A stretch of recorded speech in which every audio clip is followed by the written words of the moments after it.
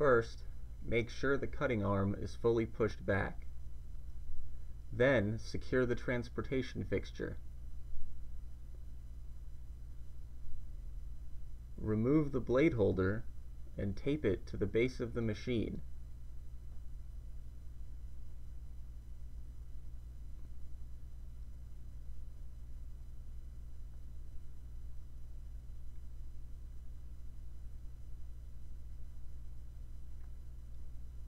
To remove the buffer tray, unscrew the thumb screw and flip the tray backwards so that the drainage valve is pointed inwards.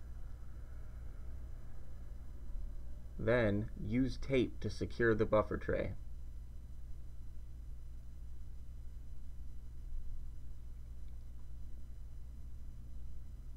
Once the buffer tray is secured, tape the machine onto the wooden board to secure its base during shipment.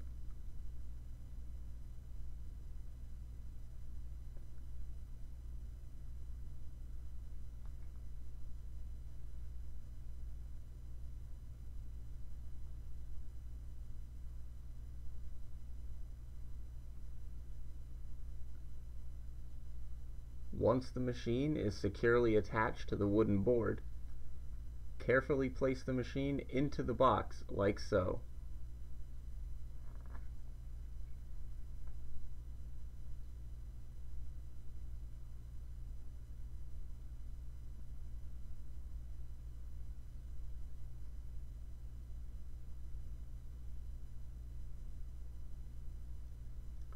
If you are asked to send the accessories back along with the machine, place it snugly in the location shown here. This helps secure the cutting arm during shipment. Otherwise, just use packing material.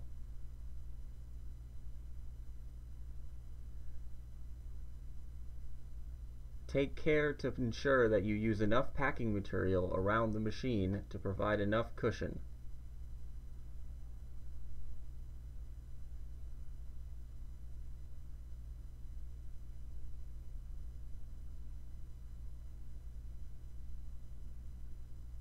When complete, tape up the box and attach a shipping label in a clearly visible location.